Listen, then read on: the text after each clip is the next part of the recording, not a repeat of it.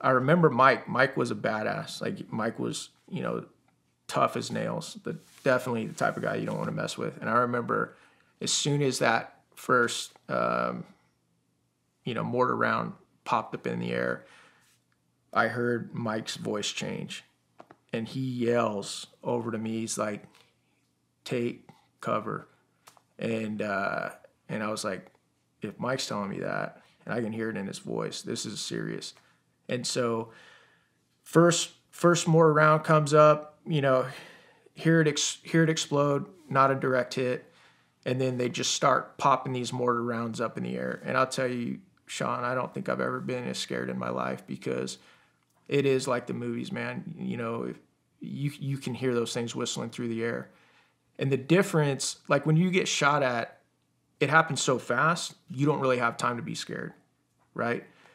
But with the, with with mortar rounds incoming, like and you can hear those things whistling for five, six seconds in the air.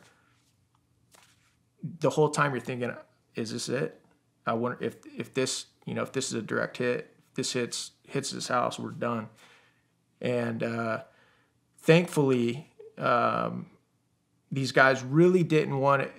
I could tell they didn't want an extended fight. They kind of wanted to, to just um, see if they could hit us with the mortar rounds and then and then get the hell out of here, so we didn't pinpoint their location and kill them. But because um, I think they only launched like four or five mortar rounds. One of them, I do remember one of them though hit on the west side of the house, probably like 60 yards from my window, and frag, you know, flew up and through the window, and that, you know, that was, you know, pretty pretty close. But I'm just glad that you know they they were off on their uh, on their Yeah. shots. But then um, our AOIC at the time called in arty and uh, from uh, I think from from Habbaniyah, and that was pretty cool to hear the big guns start you know start going off in the distance, and then the tree line that we thought we were taking um, the mortars from you know started getting started getting rocked, and and the fight the fight was over at that point, but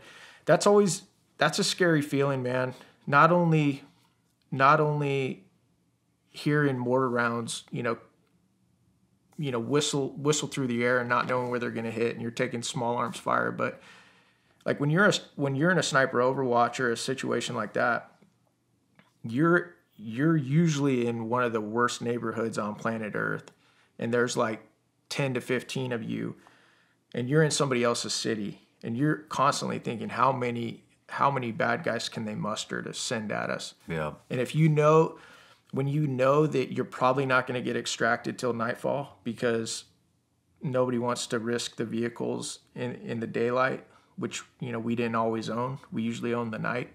You know, that we, we could be in for it, you know, for a while. Yeah, it's that. It's like a feeling.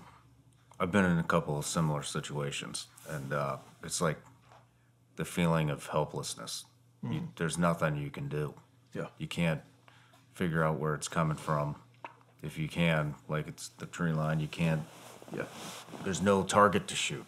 You're just gonna eat it, and hope it stops soon. You Yeah. know, hope you don't eat it, and hope it stops soon. And there's, it's completely out of your control.